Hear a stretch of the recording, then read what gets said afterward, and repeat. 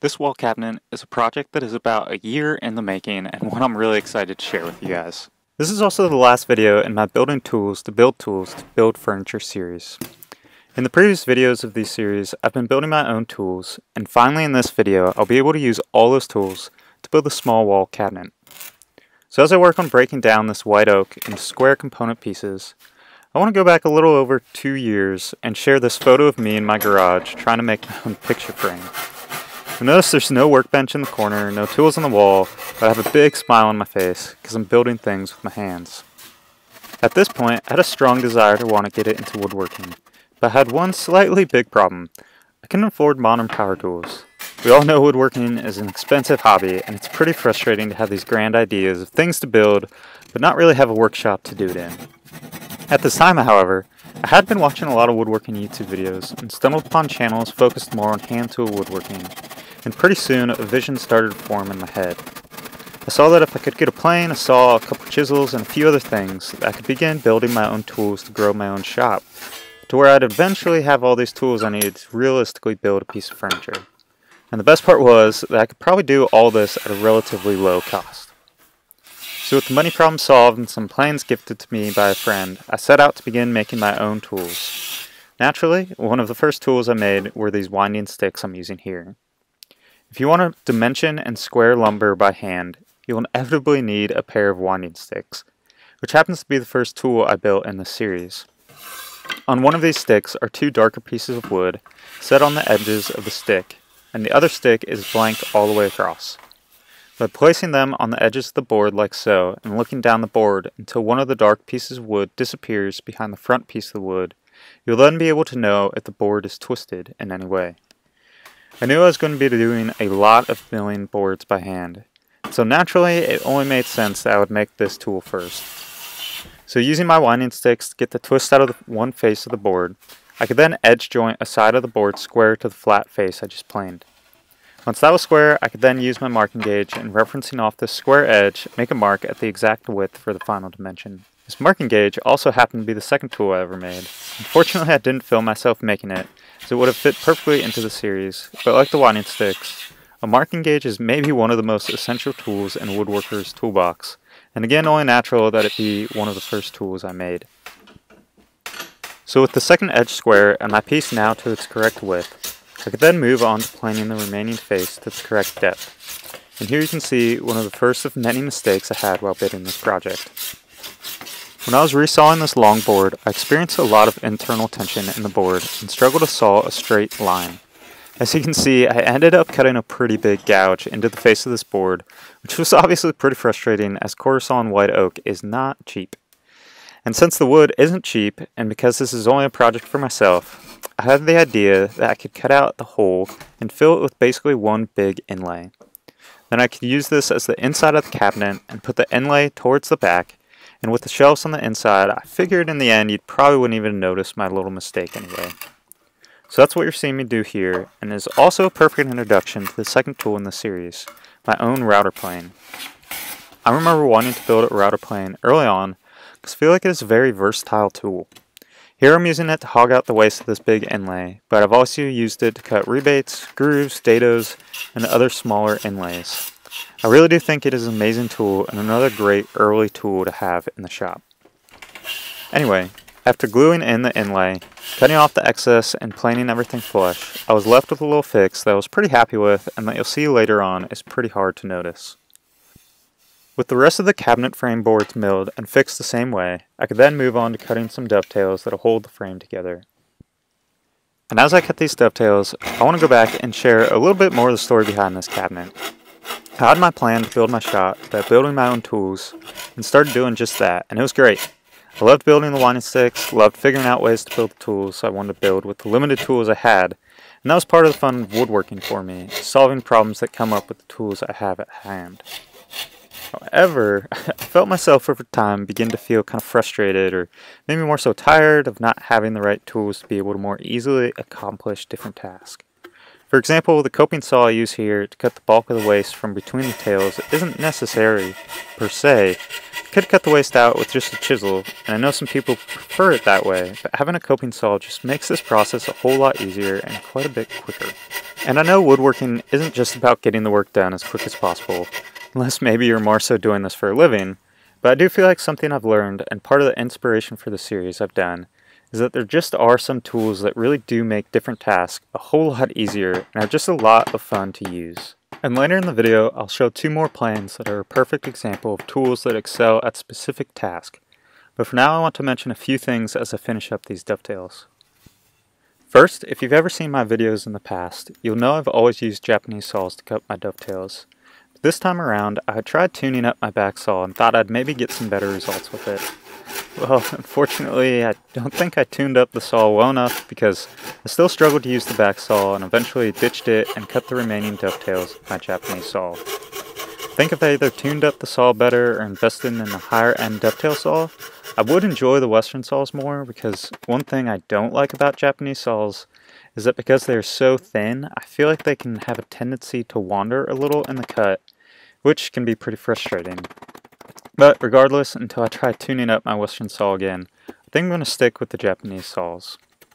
The second thing I wanted to mention about these dovetails is that I usually can fuss a lot over my dovetails and stress about getting them perfectly gap-free, but this time around I just went for it.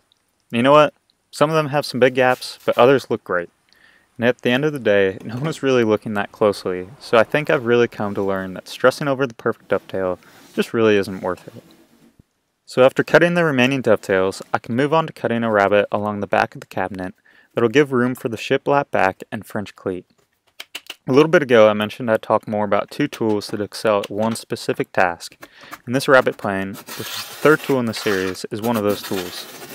The rabbet plane isn't a necessary tool. I could have cut this rabbet with my router plane, which I had to do for the short sides of the cabinet, but it takes a lot longer, there's more steps involved, and you have to be way more careful to get as exact of a cut. With the rabbet plane, however, all I do is set the fence to the correct width and then keep planing until I reach my depth. Easy, simple, and it's a whole lot of fun to use. So could I have built this cabinet without first building the rabbet plane? Of course, but as is the theme of this video, by first building the Rabbet plane, I felt like I was just able to enjoy the process more and had a better workflow because I had the right tools for the job. Now on the flip side of things, as I mentioned before, not having the perfect tool for every job provides fun opportunities to problem solve, and cutting the sliding dovetail is a great example. There's hand planes and router bits that can make this cut a whole lot easier, but I didn't have either of those. I also could have tried making these angled cuts by hand, but didn't yet really trust my skills to do so in an accurate manner. So I thought that clamping this angled block of wood and using it as a reference was a simple creative solution that made cutting a clean sliding dovetail super simple. Not as simple as a router bit or dedicated dovetail plane, but a fun solution nonetheless. I know I'm kind of talking out of both sides of my mouth by saying I want tools to do specific tasks, but also enjoy finding creative solutions with the tools I have on hand. And I'll talk a little more about this later in the video, but I think what I'm trying to say is that as I've been growing my shop these last couple years, I've been finding I enjoy times when I get to be creative with my problem solving skills, but then find myself feeling like the creative problem solving is great and all, but having the right tool for the job would just feel a whole lot simpler and nicer. And that again is why I started this series and have built things like the router plane and rebate plane because I wanted to set myself up with the tools I needed to make my work a little simpler and overall just flow a little bit more.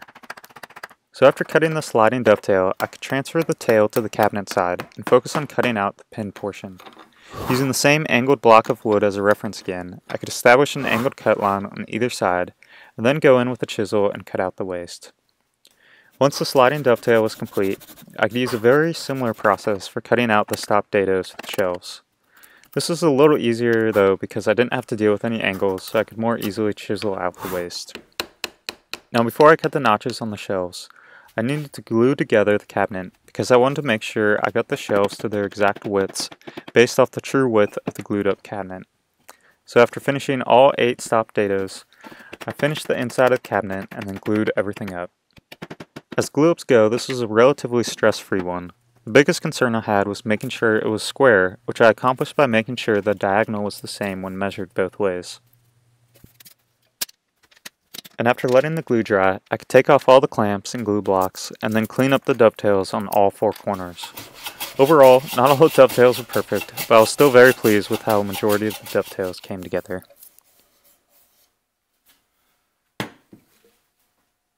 So as I said before, I wanted to glue up the frame first, so that I could then be able to trim the shelves to their exact length, which is what you see me doing here. Once they're all trimmed to the right length, I could then finish the shelves by cutting the notches for the stop dados. So as I cut those notches, I've been talking in this video about basically my feelings for wanting to have the right tool for the job. And to elaborate more on that, one of the big inspirations behind the tool building series was wanting to have tools readily available to make building this specific cabinet a whole lot easier. I had the plans for this cabinet drawn up before I even started on the rebate plane, and as I was talking through what I would need to build this cabinet, I realized that if I took the time to make a rebate plane and a grooving plane, that would make building this cabinet way easier. So that's what I did, which naturally developed into the series you're watching now, and brings up the fourth and final tool in this series, the grooving plane. Out of all the tools in the series, I think this is my favorite for a couple reasons. One, I've cut grooves using just the chisel before, and let me tell you that wasn't fun at all. I got the job done, but it took forever and did not come out as cleanly as using this grooving plane. So the first reason I love this plane is because it makes such quick, clean work, and the second reason I love this plane is that it's so fun to use. The dedicated fence and the dedicated depth of cut means I can cut very quickly, which creates a very satisfying sound. So overall, doing this series has solidified in me something I've felt for a while now, but haven't really committed to yet, and that's taking the time to really invest in building a workshop better equipped to help me build the furniture I want to make. It all makes me think of the story of two woodworkers, which, if I can share, goes like this. There was once two woodcutters who set out to see who could chop the most wood in a day. As the light broke on competition day, the first and older of the two woodcutters gathered his tools, sat down, and began the process of meticulously sharpening his tools. The second and younger woodcutter saw this and thought, this is my chance to get ahead, and immediately went out to begin working. After a while, the old woodcutter finished sharpening and set out as well. They both worked hard all day, and as the sun was going down, the young woodcutter gathered his wood, feeling confident in his haul. But as he returned to the cabin, his face fell, as looking to the older woodcutter's pile of wood, he saw that he had gathered twice the amount of wood. Maybe it's a little cheesy story, but one I heard a while back that has always just stuck with me. I'm a sucker for parable-like stories like this one, and what I like about it is that I feel like I can relate a little to the first woodcutter, in the way that when I really started getting serious about woodworking, I was so excited to start making stuff that I just jumped right into different projects with whatever tools I had on hand. Now I don't think this was a bad thing, because I had a lot of fun building different things, and I don't think there's a right way of starting into woodworking. But now that I'm a year into woodworking more seriously, I'm starting to see the wisdom in the older woodcutter, that if I take the time to sharpen my tools, or in my case, invest in more shop-related projects, that I'll ultimately get to build more of the projects I want to build, and maybe have an easier time doing it. And the whole process of building this cabinet has been a great example of this. Something that made this cabinet really enjoyable was having the tools like the rebate and grooving plane to more easily accomplish different tasks. Looking back, I'm really thankful I took the time to build these tools to have what I needed to build this cabinet. And as I say that, you can see I'm getting to finishing touches of the cabinet. Cutting the hinges was a pretty stressful part of the project. I'd never done something like this before, and I would have been at a huge loss if it wasn't for one of Rob Cosman's videos, where he walked through installing butt hinges like these. I'll put a link in the description, and if you ever have to install hinges like these, I highly recommend watching his video on this. These are a lot of helpful tips. In fact, Rob helped me a lot with this project in particular. He has a whole series where he basically builds the same cabinet here, but a little larger and without the shelves or drawer. But he walks through the same principles of building a frame, building a frame and panel door, and installing hinges. So huge shout out and thanks to Rob for helping me make this cabinet. With the stressful job of getting the hinges installed, the door plane to fit, and the door pole installed, I could move on to finishing the drawer. For the drawer, I did a very traditional blind dovetail drawer with free-floating wood bottom set in a groove. I'm not going to show a lot of the drawer construction. I think the best part was cutting these blind dovetails, which I had never done before and was pretty proud of how my first ones turned out. I think I actually find cutting blind dovetails easier than cutting full dovetails. Not sure if that is a common viewpoint, but it seemed like only having half the dovetail showing made it so that there was more room for error and a lot easier to hide some imperfections. Anyway, Once the dovetails were cut, the grooves cut, and everything glued up, I could then clean up the sides of the box and do some final fitting so that the drawer just barely fits.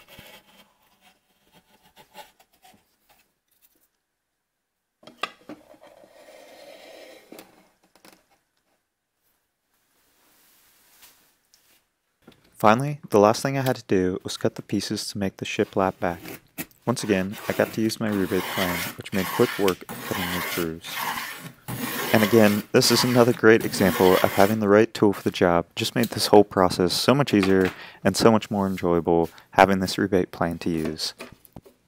With the rebates cut on each of the pieces of the shiplap back, I could then assemble the back.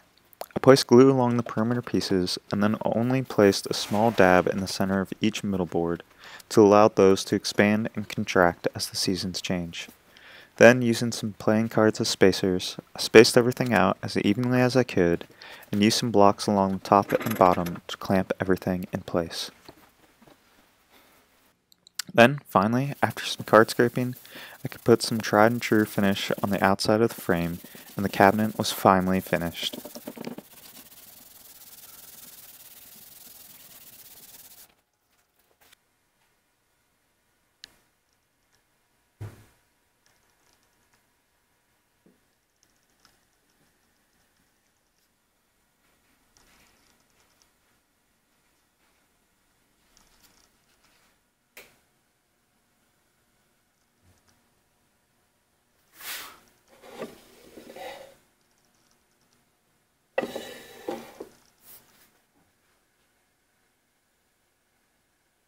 Thanks for watching. Hope you enjoyed this video of me building this wall cabinet. Really fun project for me. Hope you enjoyed hearing kind of some of the inspiration behind the series. Kind of hearing too some of my reflections just on my woodworking journey so far and my plans for what I'm hoping to do here coming up in the next year or so. And if you're watching this and wondering what this cabinet is for, well, my wife is really into essential oils and so I made it for her so that she can store all of her essential oils that she has. It's going to be really great to have this, going to be able to give some place for all these oils to go and it was just a fun, small first project. So, as I said in this video, I'm working towards wanting to kind of build up the shop more. One thing you may have noticed is that I have better lighting in here now and thinking about doing a video on lighting if that's something you're interested in. I'd love to make that help people out in the research that I did but overall, once again, just thank you so much for watching. Hope you enjoy the video, and I'll see you in the next one.